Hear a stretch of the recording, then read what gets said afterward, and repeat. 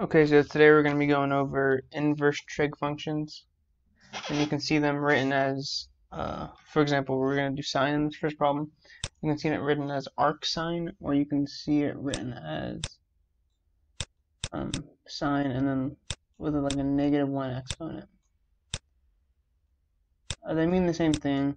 Whichever one you use is kind of, it's, it's really just preference, it doesn't matter. They both mean the same thing. So let's go ahead and do some derivatives of inverse trig functions. So y equals sine, inverse sine of 3x. Now, inverse trig functions, their derivatives are really tricky, um, but essentially it is just a formula you plug it into. So the formula you use for arcsine is as follows. dy dx equals 1 over the square root. Oh, let me redo that square root. 1 over the square root of 1 minus and then whatever whatever is on the inside of your inverse sine. So sine inverse 3x. It's going to be a 3x down here. And that quantity is squared. I'm just going to underline the 3x here in green so that we know this is where it came from. And then we take the derivative of 3x, multiply it by the whole thing. Uh, 3x, derivative of 3x is just 3. And so that leaves our final answer to be dy dx is equal to 3 over square root of 1. So let's redo that one of 1 minus 9x squared. Okay, and that's the final answer for this one. Next problem, a little bit trickier. y is equal to arctangent of x cubed. So again, you can rewrite arctan as tan to the negative 1. And it means the same thing as arctangent x cubed.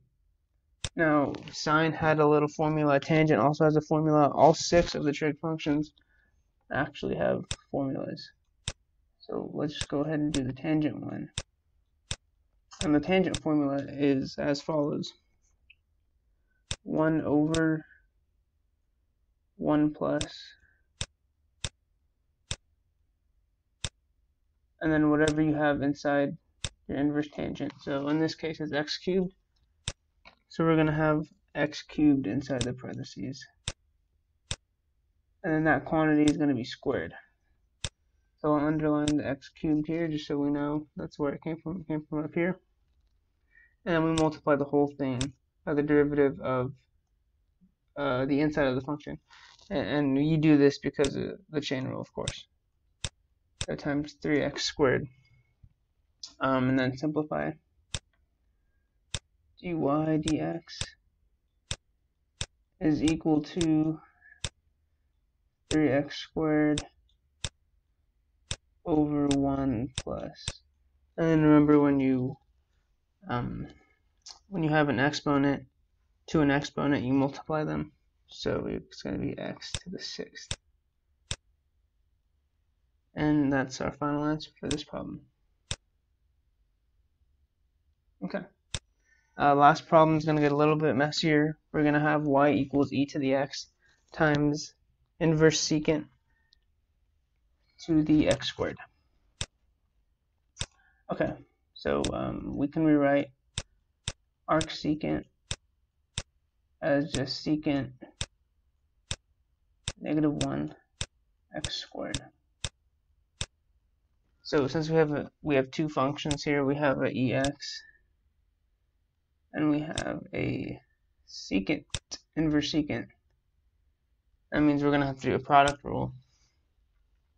So first we do the derivative of, of e to the x. e to the x is just e to the x. The derivative of e x is just e to the x. And then multiply by the blue function as is. So the blue function stays the same.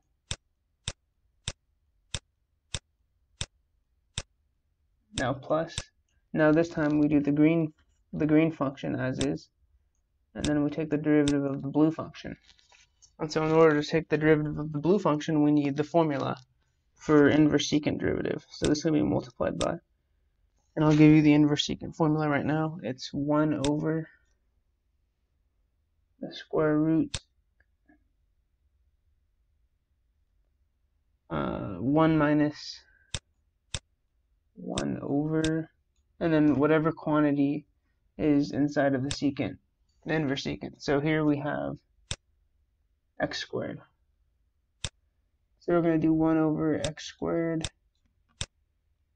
and that quantity is going to be squared. It's all underline it here, so we know where it came from. And then this whole square root is going to be multiplied by x squared